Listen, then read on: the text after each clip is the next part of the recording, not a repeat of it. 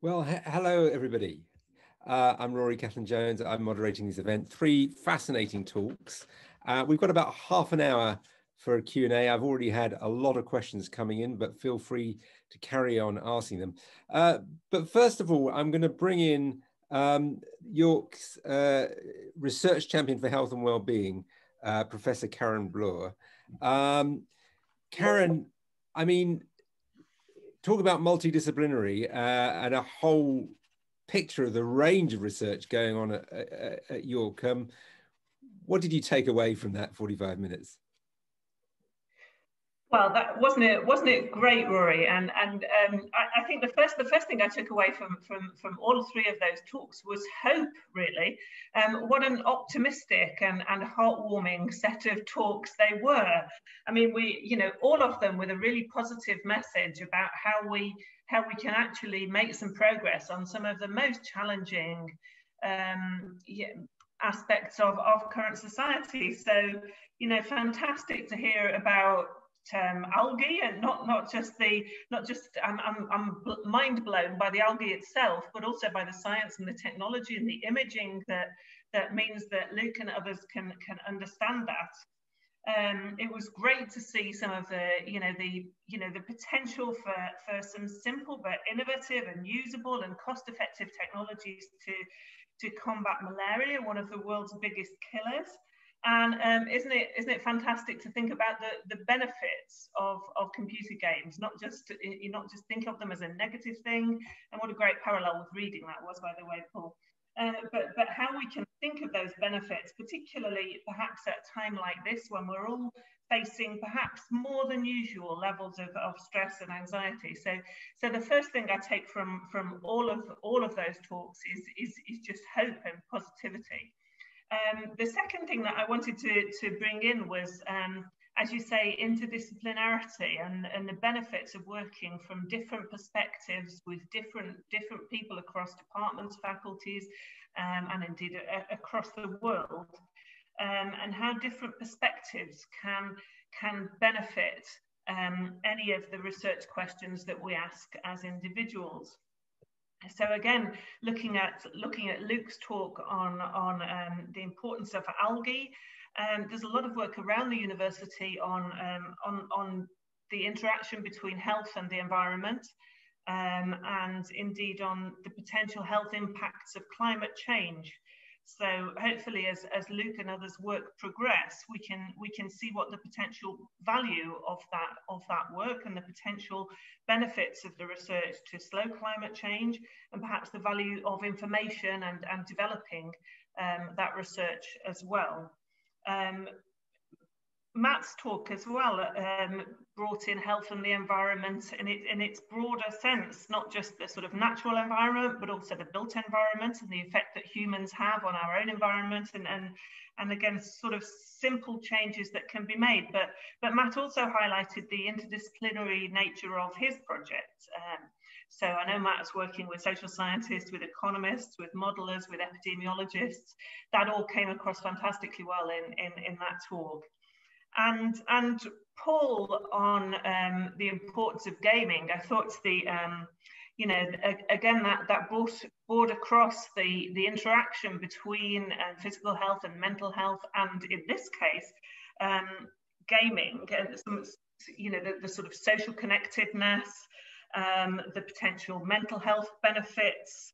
Um, and indeed, there are physical health benefits too. I've, I've, I've, been racking my brains to think of what the name of that that game was that everyone played on their phones for the summer, where everybody was rushing out and about to pick up points. Pokemon Go. I mean? Pokemon Go. Yes, that's the one exactly. So you know that one that one showed you how actually games can get people moving, um, as well as to connect people socially and um, and also in other parts of the, the university there are there is work going on around um, digital games and mental health. So so Lina Gega in the Department of Health Sciences um, has been working on using games um, to to treat common mental disorders like depression and anxiety in children and adolescents. So um, fantastic set of talks and, and a fantastic example of how interdisciplinary research can can join together and and, and add to the, the, the incredibly important scientific questions that are being asked here. Right. Well, we've got a lot of questions. I'm going to try and chug through quite a few of them. Um, uh, Luke, uh, Luke Mackinder, uh, your talk on algae. Um, I've got a. I'm going to bring together two questions here. Uh, why the drop in oxygen levels before plants appeared, says George, and Tim, uh, in a possibly related question, why do you think plants developed without the uh, algal pyrenoid? Pyrenoid. Yes, um, I hope you can hear and see me okay.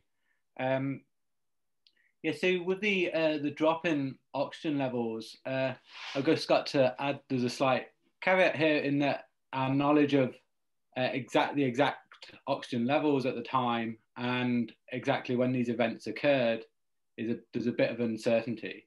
But what I can say is that when you have a lot of uh, plant matter uh, and algal matter, you have a lot of uh, CO2 being fixed and a lot of oxygen being released. Uh, and then there's also a, a, balance of then oxygen being taken up by, say, uh, bacteria and then releasing CO2. So it's to do with this balance that you can have these changes. Um, and then the second point about why didn't plants evolve with a, an algal pyrenoid, this is a, a, really interesting question and what we think a lot about. But what we, what we do think is that, or what we do know is that when plants evolved, there was a high level of carbon dioxide in the atmosphere. So they probably didn't need this turbocharging mechanism to be able to do photosynthesis really efficiently because there's already enough CO2. And then actually CO2s on a geological timescale, CO2s dropped considerably since they evolved. Uh, so that's why we think uh, they didn't evolve with a, a pyrenoid. And a, a, couple more questions, again, slightly related. Lydia Ebden, is it realistic to think that algae could break down plastic and recycle it safely? Um, and somebody else says, have you looked into CO2 capture capability of giant kelp in particular?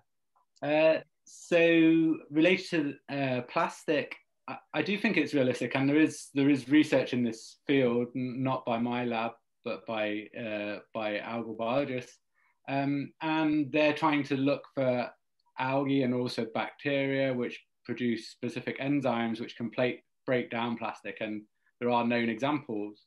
Uh, so I think this is a this is a possibility in the future. Uh, whether scaling it up to solve some of the problems we're facing uh, with plastic pollution, say in the oceans, uh, I'm uh, unsure about that scaling process.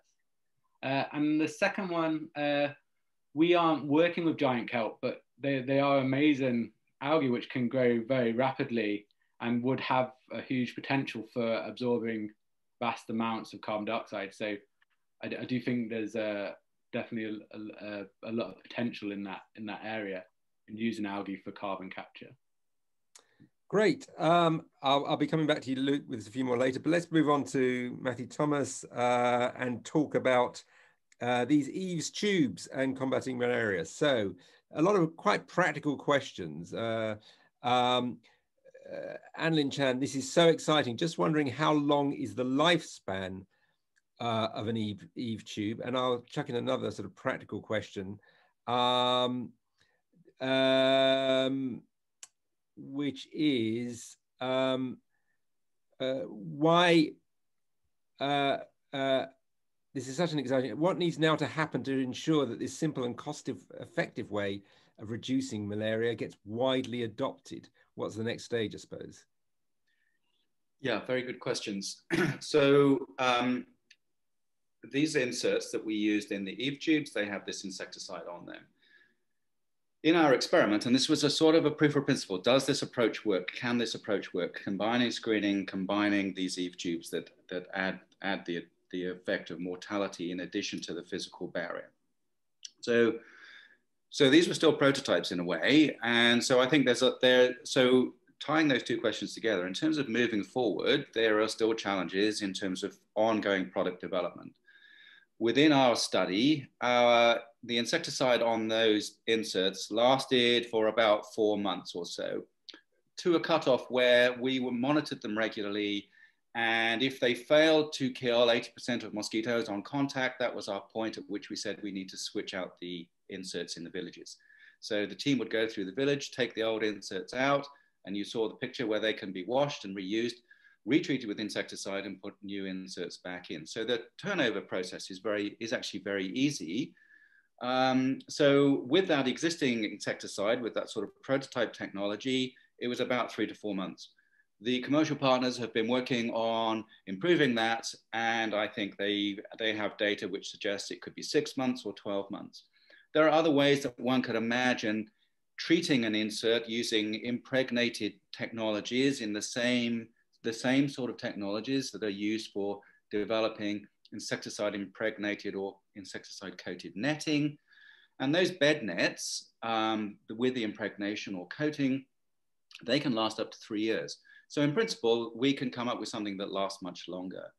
It's an interesting question in terms of the homeowner as to whether um, there's a value in treating them relatively frequently in terms of maintaining, making sure that not, they're not, for example, covered in cobwebs or you don't have birds nesting in them or something like that. If you put it up there and you don't need to worry about it for three years, you might sort of forget about it. So a bit more frequent might in fact be better in terms of maintaining the technology, even though in terms of cost, putting something up there that lasts for three years might be slightly cheaper. In terms of moving forward more generally, uh, that was a really big trial. Um, but if we want WHO to um, approve this product and to add it officially to the arsenal of, of, of recommended tools, uh, then we need a second big experiment. We need a second randomized controlled trial in another location to demonstrate that our results weren't a one-off, weren't a fluke, that in fact it's repeatable and robust.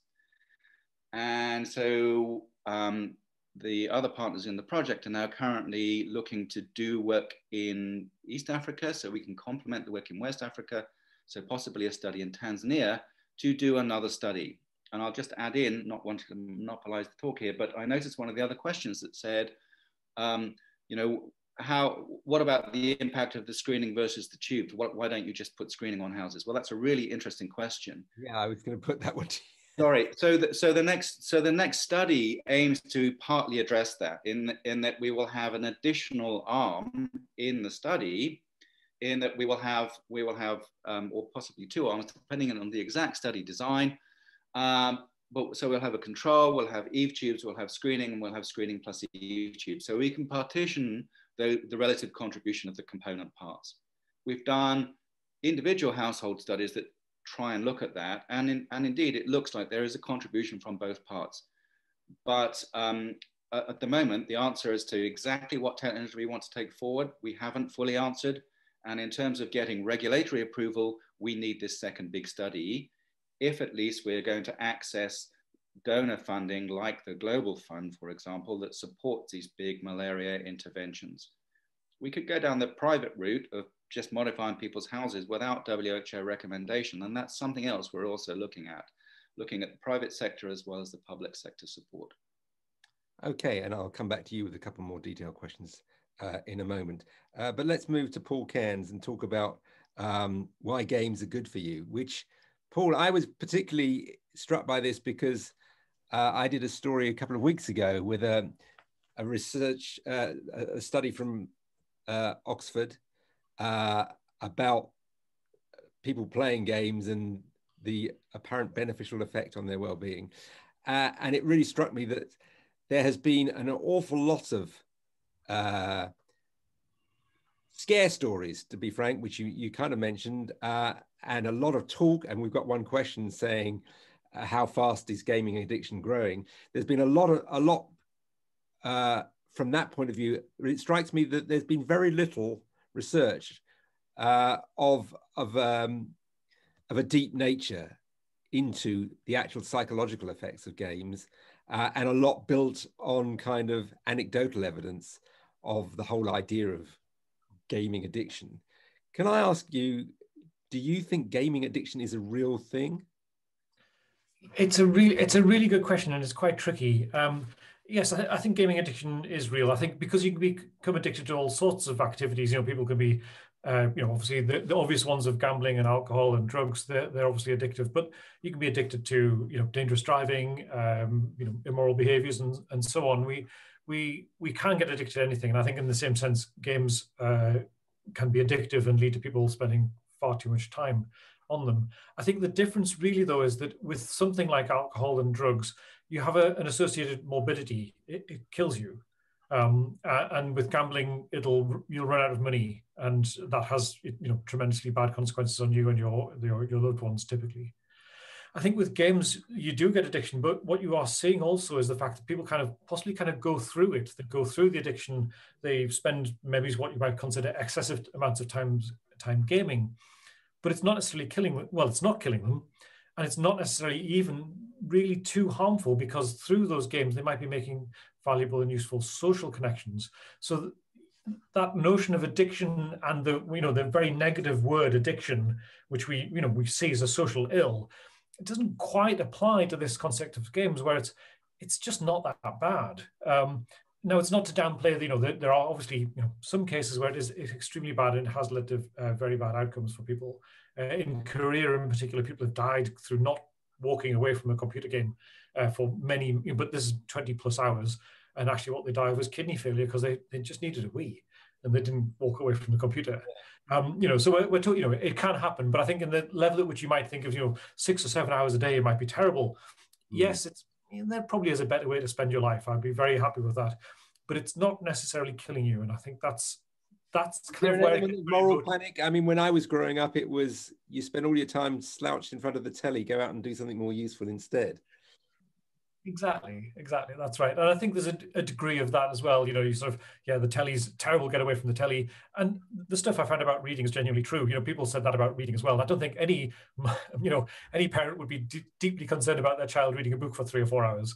Um, you know, because they see it as a, you know, improving, expanding educational thing to do. And I think games are moving into that territory as well. So they aren't just waste of time. There are things happening there with games which are exposing you to different world viewpoints uh, and different experiences that you couldn't otherwise have. Maureen Vivas says, interesting presentation. All the game examples that you used allow the user to make progress and achieve things, whether killing aliens or collecting cats. This seems to be an important factor as people often do not have this sense of achievement in the real world. Um, is have you sort of looked at the sort of different structures of games and whether there one can say anything um, uh, about you know the positivity in, in in in that sense of achievement? We're, starting to look at that now. Really, what what is it about the games that people are finding uh, positive and valuable? Um, I mean, there is a, a, theory, a self determination theory from uh, other parts of psychology, where they, they say that games fulfill self-determination because it has these attributes of uh, autonomy. You can choose what to do. Competence, you feel a sense of achievement, uh, and relationships, you can relate to others uh, through games. And but these three aspects are independent games. They're good for everybody, uh, and they motivate us in normal life. And games seem to deliver these. So there's that sense of uh, Maureen's question might be correct there that it's the achievement that you get through games is quite rewarding in its own right. Um, but I think it's it's not that simple as well because some games uh, open world games, the, you can do what you like the way you like, and there's a game, but you don't have to play it. You can, you know, I know people who go to open world games and they farm herbs to sell at the local market. It's, I mean, it sounds ridiculous in some sense. Why would you go to a virtual world to do that?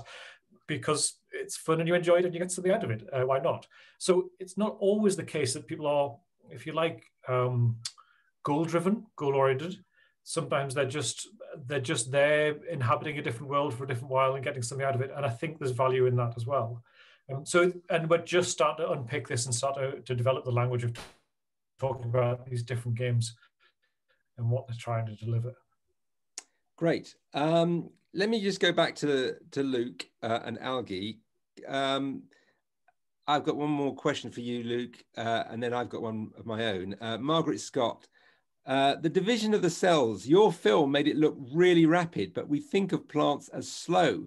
How quick is this division and growth?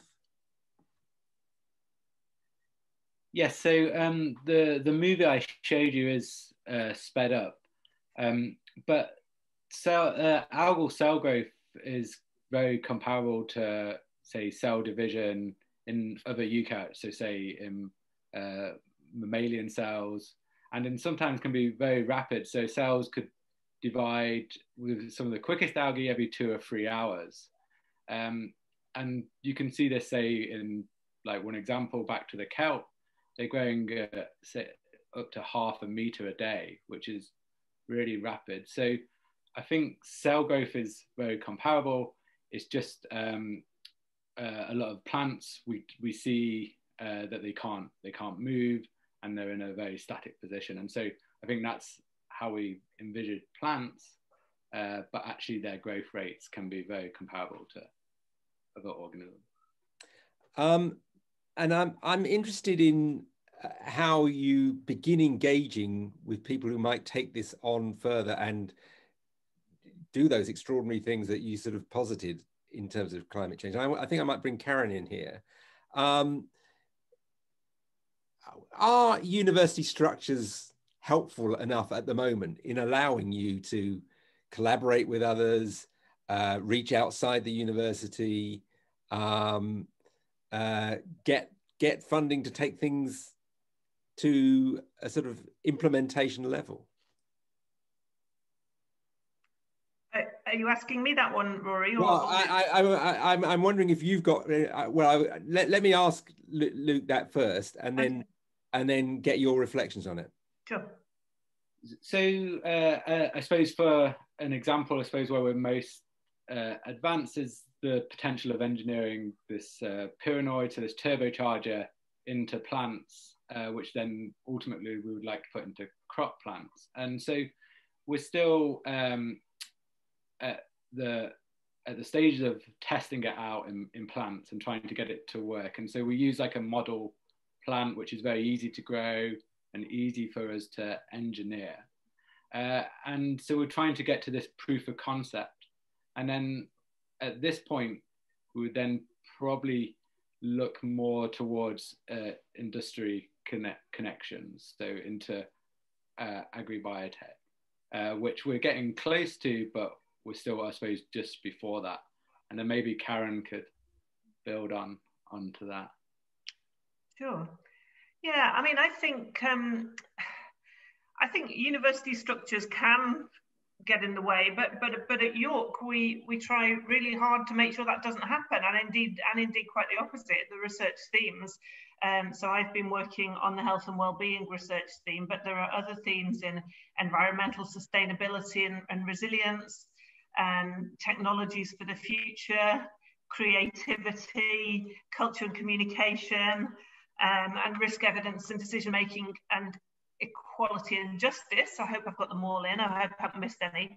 But um, these themes were designed to make sure that people from different areas of the university can meet each other, can work together, can collaborate and share ideas and sometimes it's just, you know, sharing ideas over lunch, having a chat, thinking about different ways of viewing things. But sometimes that can go on to, uh, you know, a, a huge multi-million pound um, research grant to, um, you know, maybe we've got social scientists working with physicists on an EPSRC funded grant. And um, we have examples of that. I, I know that um, you know, Paul in computer science works with works with people in in the applied health area and and in psychology. So, you know, we've got these themes across York um, where we we really try hard to make sure that that you know systems like departments and faculties and budgets and and all of that stuff isn't able to get in the way of a good idea. Um, and and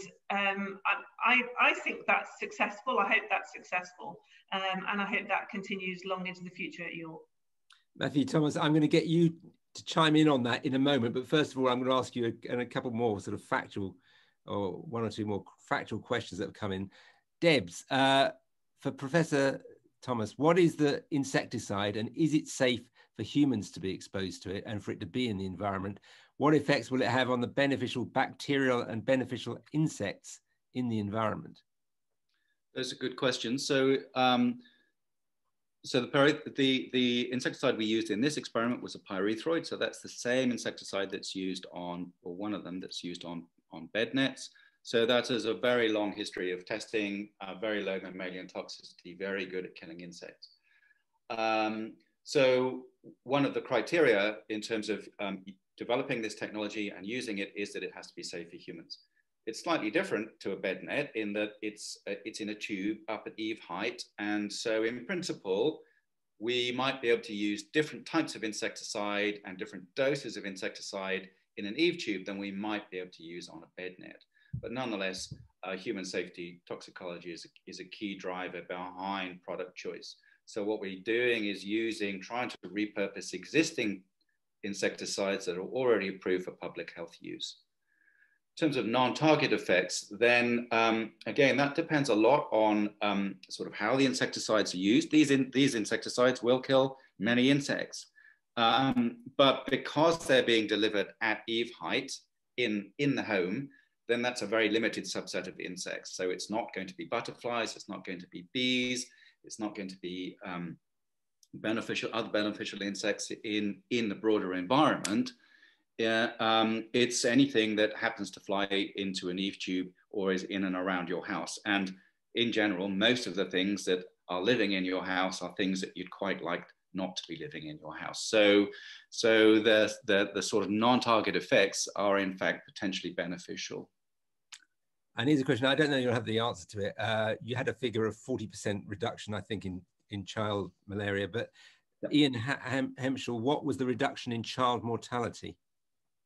Yeah, so we had, um, so we only followed our cohorts of children. And I, I'm, I'm just looking at my talk, I think I misspoke. So we had 50 children basically recruited into each study village and we followed them for two years. So 50 times 40. So we monitored about 2,000 children uh, uh, overall. Um, and in, in the study, we had um, a total of 12 deaths uh, in, the, in those children, uh, nine in the control arm and three in our treatment arm, um, three due to malaria in the control arm and two due to malaria in the treatment arm. Now, what's interesting about that is that in spite of our intervention and in spite of monitoring these children, we still had children die of malaria. But it's a relatively low number. That's a tragic number, but it's, it's, it's relatively low. And that's because malaria is treatable. If you can find someone who's sick with the disease, give them drugs, then you can cure the disease. And that's really why the burden of malaria is so awful in that it is preventable and treatable. Nobody needs to die from malaria we have environments that are perfectly suitable for malaria in many parts of the world, including I'm sat here in Florida at the moment. Florida's perfect for malaria, heaps of mosquitoes. There is no um, malaria apart from occasional imported cases in the US. And that's because it's a disease of poverty, not just environment, but a disease of poverty. So if you've got good health infrastructure where you can access doctors, you can get diagnosed, you can get the treatment, you can afford the treatment, you can prevent the disease and you can prevent the mortality from the disease rather. So that's why it's a sort of really tragic disease. It's a, it's as a, has a huge burden, but nobody needs to get it and nobody needs to die from it. Uh, and you're arriving or not quite arrived at York from the United States. Can I just talk to you about that, get your take on this collaboration idea and co connectivity to the outside world and to other things within the university? Absolutely. So it's been really interesting to come in and have that slightly out, out sort of outside perspective. Um, what attracted me to York was um, York's enthusiasm and its mechanisms to support interdisciplinary research. So the so where I'm working, York Environmental Sustainability Institute, its mandate is to help develop, empower interdisciplinary research to address these major environmental sustainability challenges of food, the environment, and one of the things I'm really keen to grow is to strengthen the links between environment and health so we can have a healthy planet and healthy people. And the solutions to, to that are not going to come from any single discipline. They are going to require multidiscipline and interdisciplinary approaches. So I think that's one of the challenges and one of the changes in universities. We have great historic sort of disciplinary structures of departments of one thing or another colleges of science, colleges of social science, colleges of humanities, um, physics, whatever it is. the idea, I think, I think the work that I, why I talked about this, my project or the project that I was involved with, is to try and illustrate how you need all of these things to help address those problems. And I think York does that really well. It's, it's, it's why I came, or why I'm coming. Excellent, great. Uh, and Paul Cairns, finally, a um, couple of questions. Uh, is there research about behavioral change impact on players of games that promote environmental sustainability? Um, and I'll chuck another one in there while we're there. Paul, how can we increase gender and ethnic diversity in gaming? What's the broader role for universities in supporting better levels of diversity? Yeah. So, so I'll take the first one. The first one's actually a general question about uh, serious games, what are called serious games. The, the use of games do have if you like, real world outcomes. So whether that's uh, environmental change, behavior change around personal lifestyles, you know, sort of eating more healthily and so on. Um, there's very, I think it's fair to say there's been very little success with that sort of thing. Uh, to the point where there's actually a term for it in the games industry called coated broccoli. Uh, we know we would like children to eat broccoli because uh, it's good for them, but they don't like it, know that, and they don't eat chocolate coated broccoli. Um, sorry, I'm getting a signal that my, my signal's unstable, so I'm sorry if I cut out. Um, the, um, the, so serious games, you know, you try to dress up a serious point as a game, and people are wise to it. They they see they see the serious point underneath the game. And actually, interestingly, some work that I did with uh, well, now a colleague, but a, a, former PhD student, David Zendle, for his PhD, um, he was looking at um, you know how do these sort of metaphors, these ideas inside games become real for people, so they, if you like, process them consciously. And the answer is if it's if it's not relevant to the game, if it's just a window dressing, if you like, you know, this game's about environmental uh, uh, sustainability, but all you're doing is shooting trees instead of soldiers.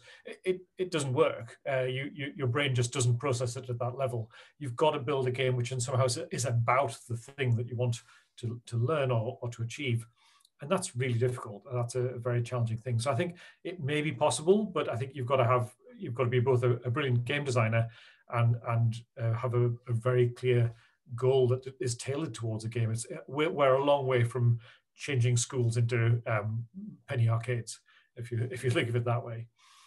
Um, in terms of inclusion and diversity within the games industry, it is uh, very much dominated by uh, men uh, and uh, predominantly white men, uh, people like me. Um, and that's a problem. Uh, it's it is a, a, challenge for the industry, but I think it is one that the industry has woken up to and is, and is, is wise to um, there's a lot of efforts uh, to get uh, women more involved in, in games uh, development uh, in particular. Um, and I think that sort of goes alongside a lot of efforts, including here at York, to get women more involved in computer science generally. Um, it is from computer science that a lot of uh, games developers come, and we need to think about that. And in some ways, though, the problem is that um, behind you know the point at which we're getting sort of people to come to computer science, we're already getting a gender imbalance in the applicants towards games related degrees uh, and computer science. So in some sense, if you like, the gender imbalance in particular is happening earlier in their education. Uh, people are feeling they can't do computer science. Uh, you know, it's a it's a, a boys' discipline rather than a girls' discipline. As far as I can see, the figures I've seen, um, the irony about upskilling the computer science education in, in secondary schools is that fewer girls are actually doing it. Yeah, and you know, there's a lot of efforts in the sort of the computer at schools, uh, computing at schools uh, project, you know, which we've been heavily involved with at York. You know, we're trying to get uh, that message across early on that it's, you know, it's for everyone. Everyone can do it. Uh, it's not just a boys' discipline, but these, you know, these are cultural changes which are hard to bring about, uh, you know, across it's across all levels of society and through schooling. Um, schools are, you know, schools are supportive, uh, universities are supportive, but it's a it's a hard change to make, uh, and we're, but we are trying. And and I'd like to say at the University of York we do quite well. We do have one of the better gender ratios of, of computer science departments, but I'll be very clear, we're a long way from 50-50 uh, in terms of the gender balance. Um, but you know, we're trying hard. Great. Well, we're running out of time. I just want to bring Karen in uh, right at the end for just a, a few reflections on, on, on what we've heard. Um, and it, it does come back to that, that sort of cross fertilization idea, doesn't it? Yeah, absolutely. I think it's it's it's great to have heard um, Matthew's view, and and and I'm really pleased that that that York's um, efforts to um, you know maintain and, and indeed increase our interdisciplinarity have, have encouraged someone like Matthew to come and join us at York. So that's fantastic news.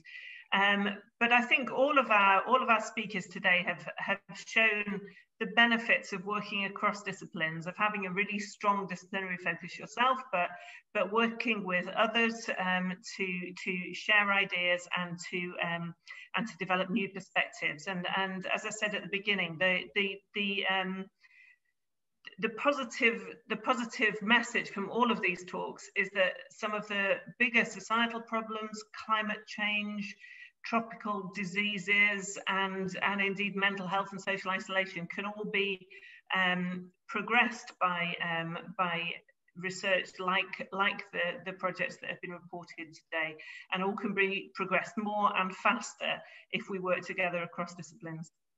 Well, thanks, Karen. Uh, also, thank you also to Luke Mackinder, Matthew Thomas, and Paul Cairns. Uh, thank you for uh, for joining in. I know there are hundreds, probably thousands of you out there. You've been a great audience, asked great questions. Uh, I've got to go and put some bread in the oven, so you know I've got to wrap this up. Um, don't forget there are more sessions uh, throughout the day. There's another one coming up. Uh, do join that one. But thank you very much uh, for being here, uh, and thank you to our panel. Thanks.